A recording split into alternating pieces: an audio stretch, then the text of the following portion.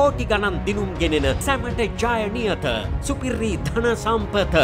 ආනනික සීනි කිලෝග්‍රෑමයක් සඳහා දෙදස් විශ්වසරේ සිට පැවති ශත විසිපාක විශේෂ වෙළඳ භාණ්ඩ බද්ධ රුපියල් පණහක් දක්වා ඉහළදමීමට පසුගේදා රජය පියවරගත්තා.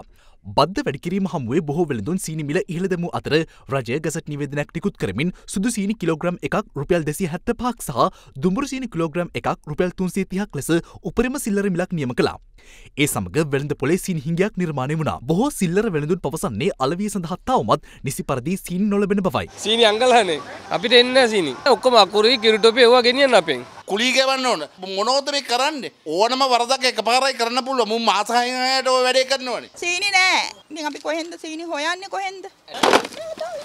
කෑල්ලක් පහයි. සීනි දැන් විකුණන්නේ නැහැ අපි. කොගොමෙල පිටකොටුවේ 310 පිටකොටුව තොග වෙළඳ පොලේද සීනි තොග හිඟයක් පවතිනවා. සීනි නෙවෙයි තියෙන්නේ. වරයි තියෙන්නේ. පිටකොට එන්න ආවම සීනි දැනට කවුරුත් බාපු වගේ නම් මුකුත් තත්ත්වයක් නැහැ. සීනක ඉඳයි දෙන්නේ අය. මම ඇහුවා නැහැ කියනවා. මොනවා කරන්නද?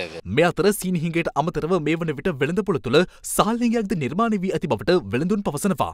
සහල් සහ සීනි සඳහා පාරිභෝගික කටයුතු පිළිබඳ අධිකාරිය මගින් උපරිම සිල්ලර මිලක් නියම කරලා තියෙනවා.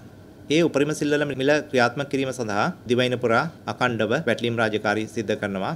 මේ වැටලීම් ක්‍රියාත්මක කරනකොට අපි නිරීක්ෂණය කරපු එක දෙයක් තමයි සමහරක් වෙලාවට ආනයනකරුවෝ එහෙම නැත්නම් තොග වෙලෙන්දෝ බිල්පතක් නිකුත් කරන්නේ නැහැ වෙනත් ක්‍රම මගින් ඒගොල්ලෝ සීනි වෙළඳපළට නිකුත් කරනවා බිල්පත හරිමිලට දානවා සිල්ලර වෙලෙන්දගෙන් එහෙම නැත්නම් ආනයනකරුකනම් තොග වෙලෙන්දගෙන් වැඩිපුර මුදලක් අය කරනවා කියලා.